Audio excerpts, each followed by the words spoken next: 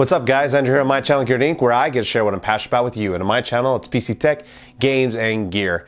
And before we get into today's topic, I wanted to kind of take a moment of silence.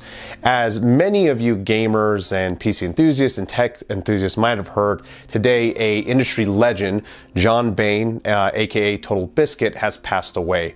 Uh, I wanted to kind of just share his story with those of you who don't know. He was a game reviewer and streamer with millions of subscribers, um, hundreds of thousands of Twitch subscribers as well and he's been around for a long time. He's actually been someone that me and Perpetual Gamer have watched for years and years and years. And basically, John's story was during the uh, Great Recession, he was looking for a way to make money and thought that he could do so by basically getting ad revenue on YouTube. This was all the way back in like 2009, 2010. He started out by reviewing games um, like WoW's Cataclysm.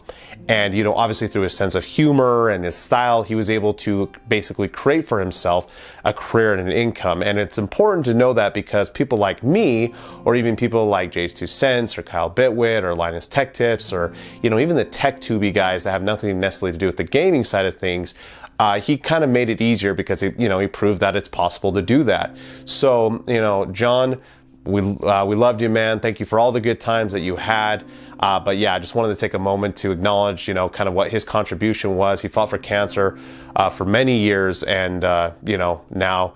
Uh, he has passed on. So the topic of today's video, we're going to kind of keep it short and sweet, is the eight core Intel Coffee Lake variant. Now we've got some details um, that came out the other week, but we got some more details today, specifically TDP um, of this CPU. Now the um, unclocked, or sorry, the unlocked version, I should say, um, is a 95 watt with the um, basically locked version being 85 watt. So this is uh, both uh, you know, 10 and 20 watts respectively below, um, you know, kind of Ryzen's offering with the 2700X. So um, it's definitely going to be interesting to see how this performs. Um, from the samples we've got, we've seen an increase over the leak from last week where, um, you know, it was like 2.6, now it's 3.1 in terms of speed. It has the exact same amount of ca cache as the Ryzen 7 series does, at least for the 2700X. Um, and remember that these are sampling, so I'm guessing that these speeds are going to be much higher for the final release. Um, and it kind of puts Intel, you know, fans in a difficult position because um, we know that the 390 um, chipset, um, which is going to be the one that supports these um, eight core variants, uh, is backwards compatible. So you can bring your current, um, you know, eight.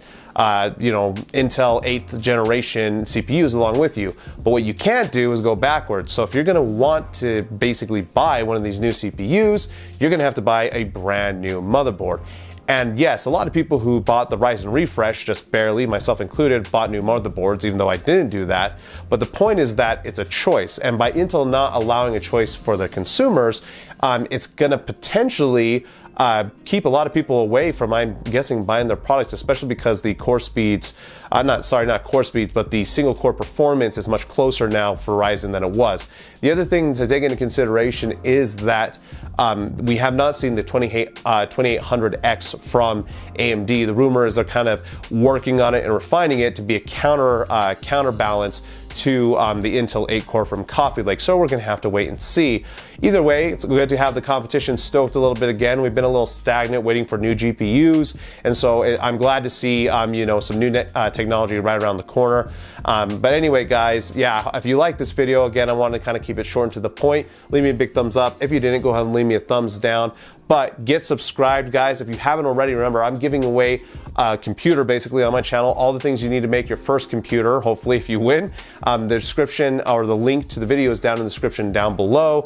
Um, remember to use my Amazon affiliate link if you're buying anything, anything through Amazon, as that directly supports me. Thank you to all my Patreons, all my people who watch me on Twitch on the weekends. I'll be back this weekend. I've been so sick, but obviously you can tell I'm much better. And I have a couple of videos coming up. I have one where I bought a GPU that was used for mining for gaming. I've been testing out for the last couple weeks, so excited to kind of share my results with that. I also have a uh, another GPU video that I'm doing specifically about those kind of those scam ones from China, and then I also have RAM RGB upgrade video that I'm working on well. So there's a lot of cool stuff going on the channel. So yeah, get subscribed if you haven't already.